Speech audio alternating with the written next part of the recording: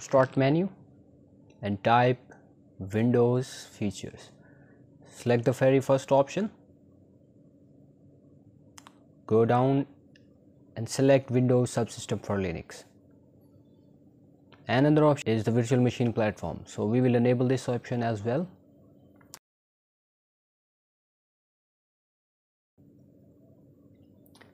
It will take some time for the changes to apply and after the changes we will make a restart. So it's completed. Let's restart. After the restart you will go to windows store. And in the search you will type ubuntu. You can install any ubuntu version. I'm selecting first. And let's make the installation this will take some time in downloading.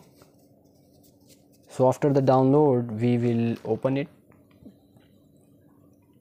So the downloading is completed. Let's open this like this. So you can see we got an error and the error is WSL2 requires an update to its kernel. So in order to fix that we will install WSL2 updater. So simply go to your browser and we'll type WSL2 install and select the second option. From here you will select manual install steps and we'll download this WSL2 kernel update. Let's open it and let's finish it. Now let's open ubuntu again. So now you can see it's installing. So it will take some time.